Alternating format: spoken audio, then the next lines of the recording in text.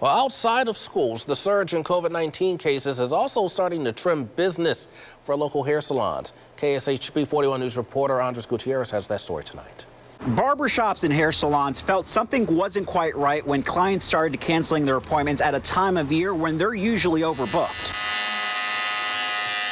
These days, barber Drake Murph would rather see these sharp lines instead of the ones on charts showing the rise in COVID-19 cases. This is one of the jobs where I have to come to the shop to get money, so there's no way to cut a hair over Zoom or anything like that.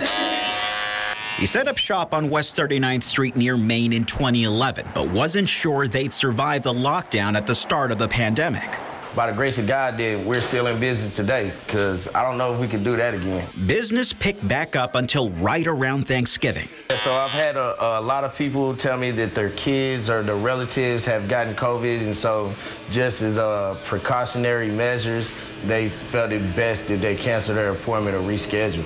And the cancellations keep coming. One of Drake's coworkers, Lalo the barber, had at least four people back out on a fresh cut today people feel the way they feel. Some people don't want their kids here, and they have situations at home. So, you know, I understand. It's very understandable, but at the same time, it's not, you know, it's unfortunate for all of us.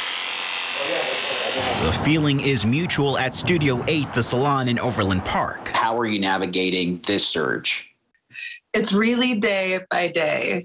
Um, it's really hard to look too far ahead because things change so fast and drastically so quickly. Stylist Rebecca Dawson says many in her industry are bracing to juggle a slew of rebookings, but they'd rather deal with that than the current situation.